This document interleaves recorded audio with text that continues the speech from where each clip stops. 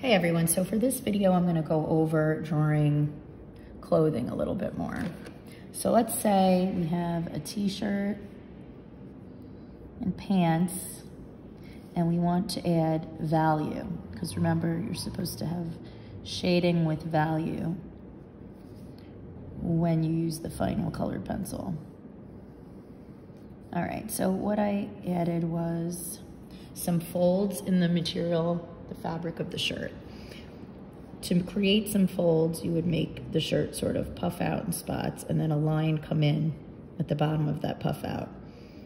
And these would create sort of wrinkles or crinkles in the shirt. And you would use value then to show shadows and highlights. So I would start by using a darker value under these creases. And then let's look at where else we might see shadows. A lot of times armpit areas have shadows because it's a tighter area where the fabric and body parts are next to each other and it creates a shadow because the light's not hitting it. All right, so you might have shadow there too. And then it would get lighter as it goes to the middle of the shirt. And I would go back and I'll blend. So I'm gonna make shadows along the edges of the shirt going into those wrinkles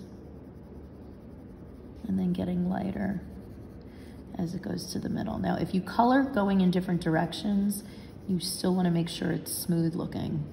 Otherwise it is gonna look sloppy. Okay, and then I'm making it come in lighter. And then of course you can always go back and add more darkness. Thing is you cannot go back really and add lightness unless you go in at the end with an eraser just to fade some spots.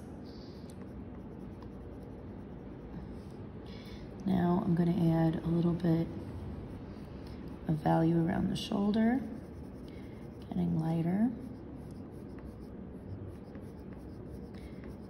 And getting lighter there as well. All right, so you have darker value around the outer edges of the figure and then also around the creases and areas where you might in fact see shadow like the armpit area. Something kind of like that. And again you can go back you can stand back from it a little look at how it looks go back and add more. Now for the pants you might add more of a shadow around pockets.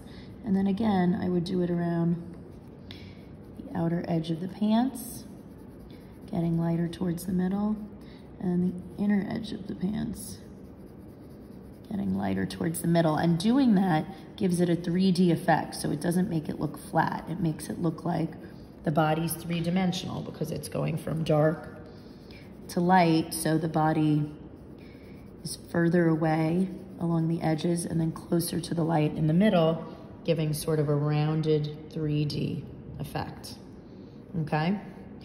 So that would be how you could shade clothing in a more realistic 3D way using value.